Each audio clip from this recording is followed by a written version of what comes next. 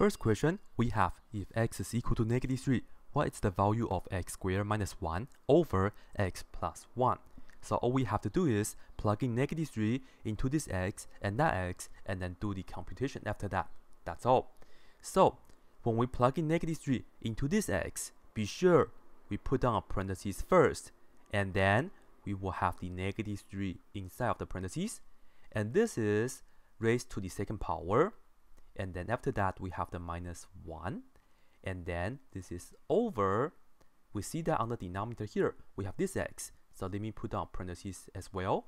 And then we will have the negative 3 into this parentheses. And then we have the plus 1 so now this is the setup and we just have to work out the computation. To do that let's work out this exponent first. This is parentheses negative 3 to the second power then what does that mean well let me write it down on the side for you guys this right here, we see that we have a parentheses to the second power. The exponent tells us to write down whatever we have this, 2 times, and then multiply. So this is the same as parentheses negative 3 times another parentheses negative 3, and then we see that negative 3 times negative 3 give us positive 9. So 9 will be the result of this part, and let me put it down right here and I'm going to make a small remark on the parentheses uh, after we finish this question, but now let's focus on continuing this question. This is 9, and then we have the minus 1, and then this is over.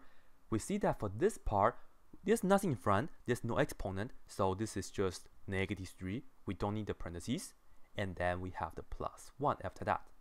Alright, now we have to work out the top.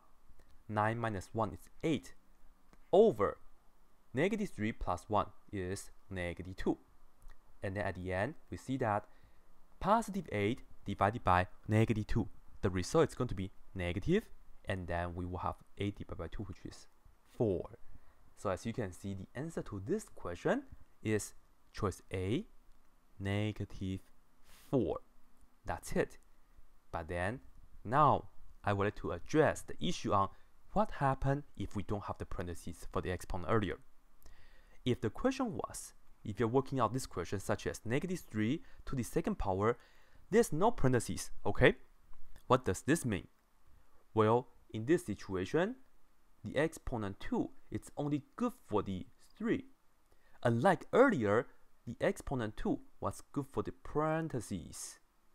When the exponent was for the parentheses, we had to write down the parentheses two times along with the things inside two times. This time, the exponent 2 is only good for the 3. Well, 3 to the second power means we have 3 times 3.